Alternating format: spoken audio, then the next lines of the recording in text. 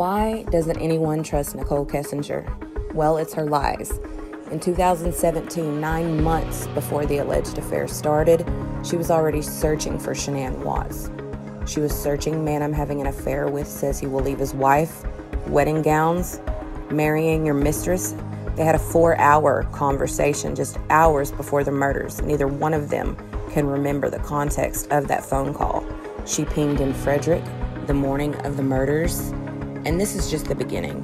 We're definitely going to have to follow up a part two to this one. So, thanks for watching, guys. Bye.